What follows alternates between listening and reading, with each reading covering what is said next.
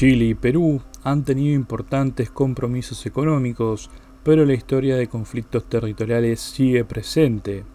En este video vamos a analizar cuál ejército está mejor preparado en términos de calidad.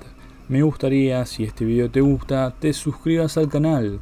Así que antes de empezar, te invito a que lo hagas. Aviones de combate.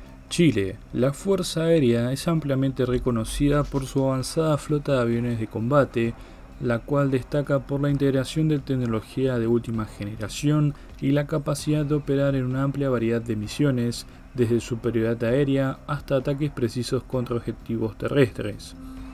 Chile posee un total de 46 aviones F-16, estos distribuidos de la siguiente manera, 36 F-16 MLU, y 10 F-16 Block 50. Estos cazas están equipados con el radar AN APG-68B9 que ofrecen un alcance de detección de 300 km y capacidad de seguimiento y ataques a múltiples objetivos.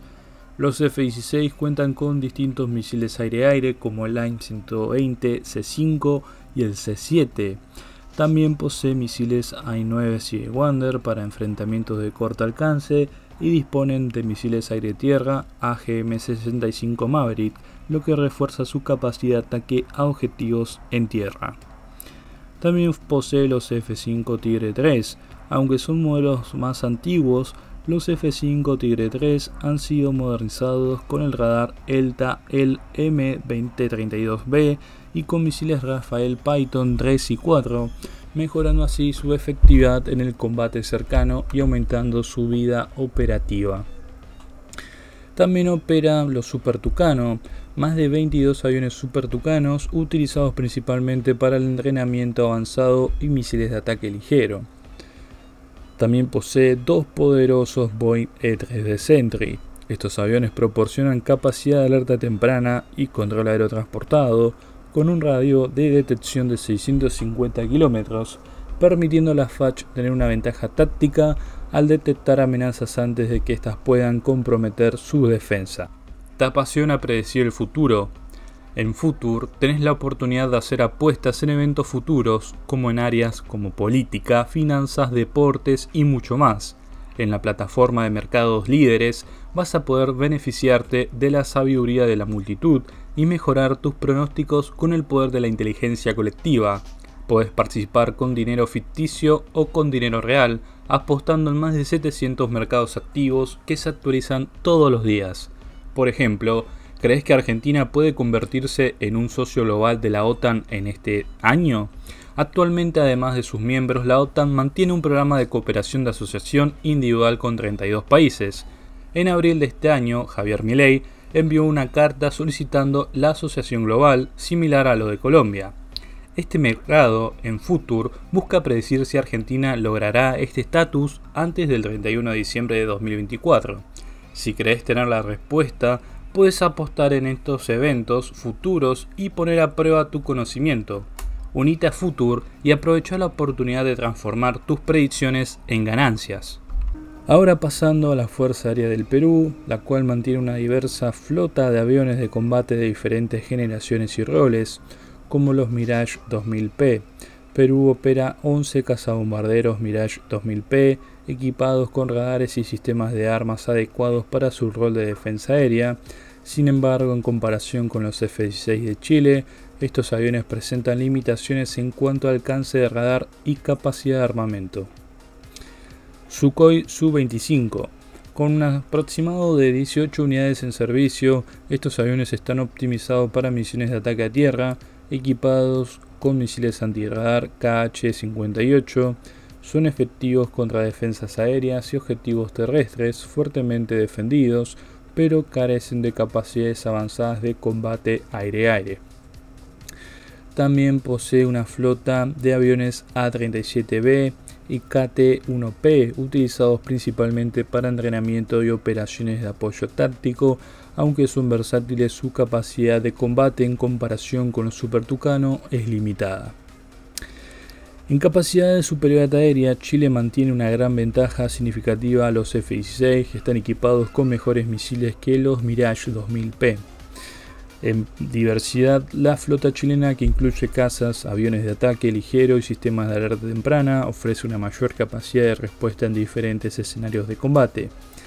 En aviones de apoyo a tierra, aunque los Su-25 son efectivos en misiones de ataque a tierra, Chile compensa con los F-16 y los Super Tucano, que también tienen capacidades de ataque al suelo significativas, aunque los F-16 se destacan más por su rol multifuncional.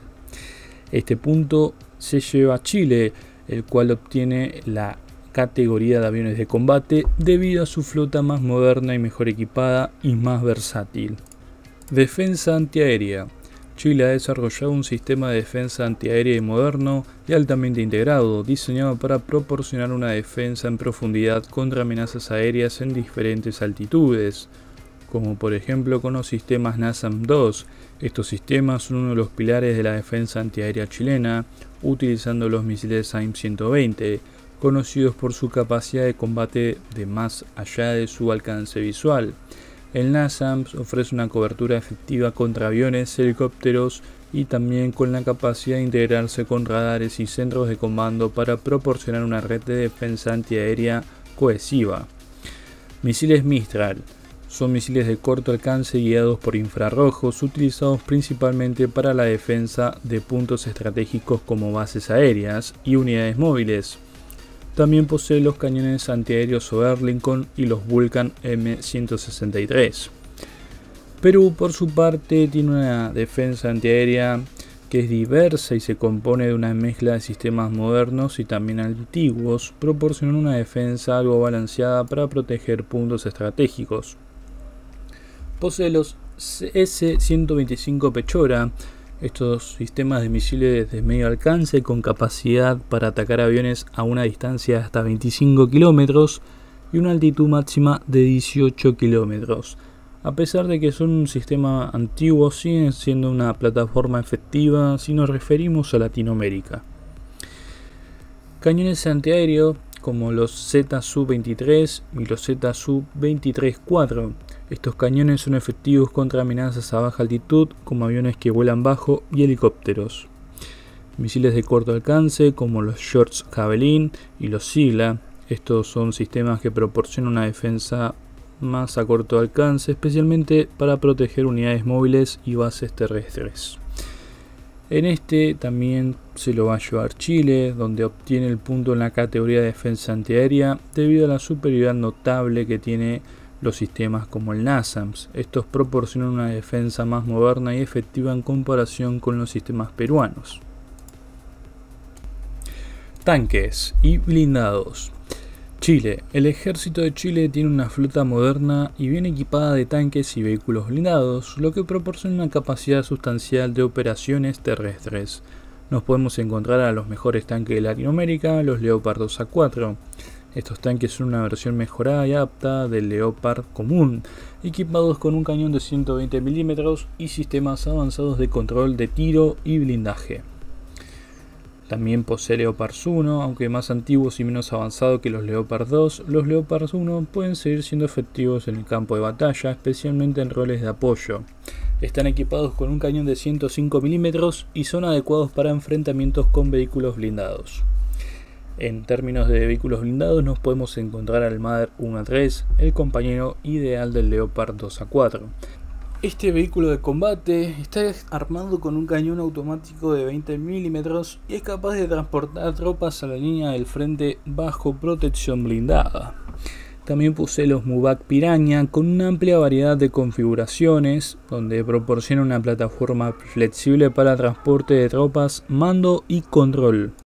Por otro lado, Perú posee a los T-55, tanques de origen soviético robustos, pero están desfasados en comparación con los modelos más actuales. El T-55 tiene un cañón de 100 mm y ha sido el pilar de la fuerza blindada peruana durante décadas. Aunque algunos han sido modernizados, su efectividad sigue siendo limitada frente a tanques más modernos como los Leopard 2A4 Así que podemos decir que puede pelear con los Leopards 1, pero Leopard 2 se lo come crudo. AMX-13. Equipados con un cañón de 75 mm, es más ligero y maniobrable, pero carece de la protección y potencia de fuego para enfrentarse a tanques modernos. También en vehículos blindados posee a los BRDM-2, vehículos de reconocimiento blindados armados con una ametralladora de 14,5 milímetros. Su rol principal es la exploración y reconocimiento. Humvee, utilizados principalmente para transporte ligero y misiones de apoyo logístico, son versátiles y altamente móvil, pero carecen de blindaje necesario para roles de combate directo. También hay que aclarar que Chile posee a los Humvee. En este, este punto claramente lo va a llevar Chile debido a su flota superior de tanques y vehículos blindados. Ahora pasando a otra categoría importante tenemos a la artillería. Chile posee lanzacohetes múltiples de, fabricación nacional como los SLM FAMAE, sistemas desarrollados que permiten el uso de cohetes guiados y no guiados, proporcionando una capacidad de ataque rápido y efectivo a distancias significativas. También posee los LAR-160, lanzacohetes de origen israelí que pueden disparar salvas de cohete a una distancia de hasta 45 kilómetros buses autopropulsados M109A5 que ofrecen movilidad y una alta tasa de fuego, además de contar con sistemas de control de tiro modernizados. En obuses remolcados podemos destacar los Soldan M71, obuses de 155 mm que pueden ser desplegados rápidamente. Por otro lado, Perú tiene distintos sistemas de origen ruso y occidental, el lanzacohetes múltiples tiene los tipo 90 BM y los BM21. Esos son sistemas de versiones del clásico BM21 Grad con capacidad de lanzar salvas de cohetes no guiados de 122 milímetros. Tiene los obuses M109, al igual que los chilenos, pero los A2, una versión más antigua del obús M109, aunque siguen siendo funcionales. En obuses podemos destacar los D30 y los M46, obuses de 122 milímetros y un cañón de 130 milímetros.